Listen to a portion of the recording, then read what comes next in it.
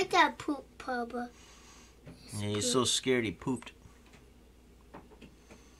It's what you get when you come in and put sticky traps around. These sticky traps work really well. And and that and Papa, they put peanut butter on the yellow singers get hurt on the foot.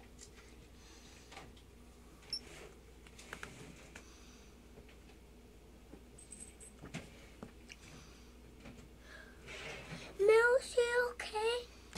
No, the mouse is dying. Mouse, He's petrified. mouse. Um, the mouse is, mommy's poop away on here. Mouse, you okay? You're gonna die, mouse. Mouse can't talk, Papa. Oh, he's talking. And little mouse talk. Mouse, you talk?